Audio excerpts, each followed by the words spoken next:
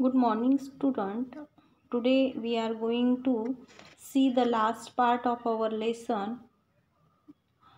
The last point is feminist history.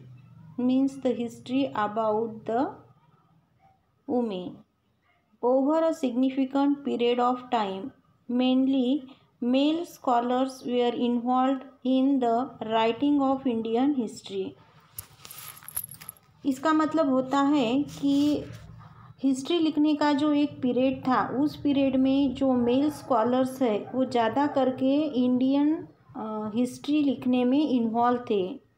As a result the role and achievement of women in history remained neglected और उसका, उसकी वजह से जो role और अचीवमेंट थे वुमेन्स उसकी वजह से जो वुमेंस के रोल और अचीवमेंट्स थे हिस्ट्री में वो निगलेक्टेड हुए। उनकी तरफ़ ध्यान नहीं गया।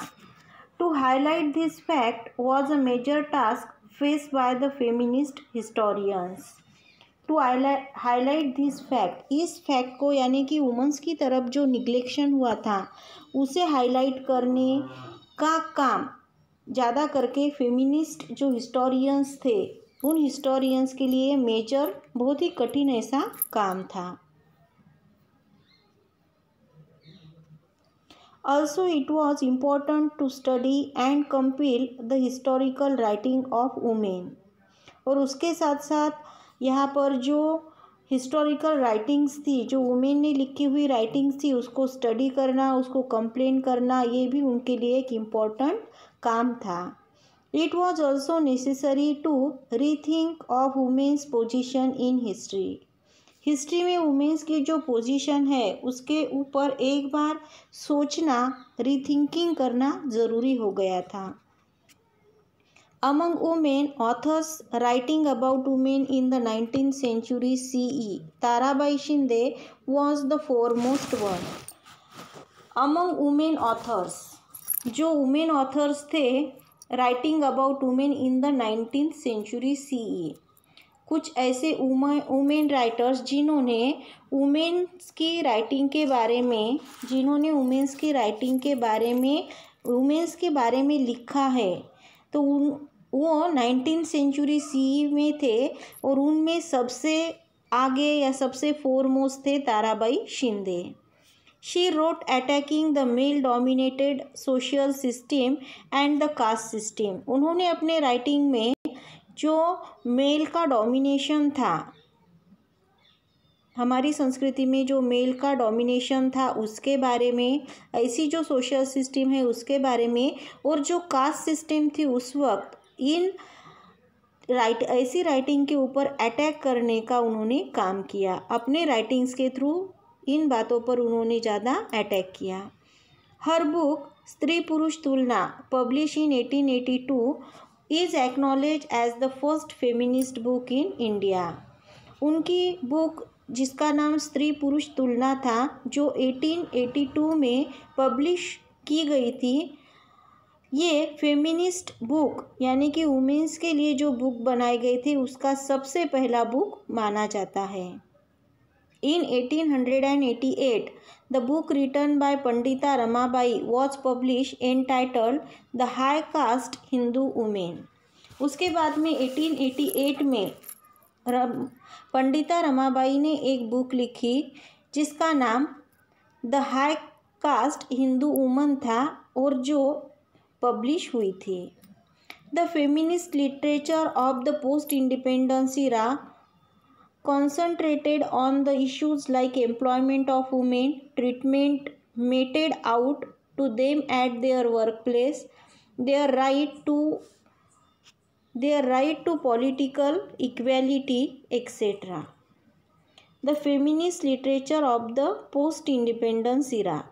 Post independence period में जो फेमिनिस्ट लिटरेचर था उस लिटरेचर में कॉन्सेंट्रेट किया गया था जैसे कि वुमेंस की इशू है, जिसमें आता है एम्प्लॉयमेंट ऑफ़ वुमेन यानी वुमेंस को काम करना then treatment meted out to them at their work place और जब वुमेंस काम करती है किसी जगह पर तो जिस जगह पर वो काम करती है, वहाँ पर उनके साथ में किस तरीके की ट्रीटमेंट की जाती है? और उसके बाद में their right to political equality और राइटिंग में, उस लिटरेचर में ये भी था कि उनको पॉलिटिकल इक्वेलिटी का कितना अधिकार दिया जाता है। Among the recently publish feminist literature Meera Kosambi's book crossing thresholds feminist essays in social history is of importance और उसके बाद में कुछ रिसेंटली पब्लिश ऐसे फेमिनिस्ट लिटरेचर लिटरेचर जो थे, जिसमें मीरा कोसम्बी की बुक आती है crossing thresholds feminist essays in social history is of importance उसके बाद में उस बुक में feminist essays in social history इसको इम्पोर्टेंस दिया गया था। It contains essays on the life stories of women like Pandita Ramabai and doctor Rukhmabai the first practising lady doctor in doctor of India in essays में कुछ women's की life stories यहाँ पर include की गई थी, जिससे कि जैसे कि यहाँ पर पंडिता रमाबाई की लाइफ स्टोरी थी और डॉक्टर रुखमाबाई जो पहली लेडी डॉक्टर इंडिया की मानी जाती है। A lot of literature a lot of literature is available unfolding the view point of Dalit women in Maharashtra बहुत सारा यहाँ पर लिटरेचर अवेलेबल था। Unfolding the view point of Dalit women in Maharashtra जिसमें महाराष्ट्र के दलित वुमेन के बारे में बहुत कुछ बताया गया था। Doctor Sharmila Rege's work is noteworthy in this contest Maharashtra की जो दलित वुमेन्स थी, उनके बारे में जो बताया गया था, उसके लिए डॉक्टर शर्मिला रेगे का जो वर्क है, यहाँ पर नोटवर्दी करने जैसा, ध्यान में रहने जैसा है। Her book writing caste writing gender reading Dalit women's testimonies includes her essay on the autobiographies of Dalit women उनकी जो बुक है राइटिंग कास्ट और राइटिंग जेंडर ये इस बुक में उन्होंने रीडिंग दलित वुमेन्स टेस्टिमोनीज और ऐसे बहुत सारे दलित वुमेन के एटोबायोग्राफीज और एसेज उन्होंने इंक्लूड किए हैं। There have been a number of Indian historians who wrote about embracing a particular ideology यहाँ पर बहुत सारे इंडियन हिस्टोरियंस है जिन्होंने इंडिया की जो पर्टिकुलर आइडियोलॉजी एक्सेप्ट की गई थी उसके बारे में लिखा है।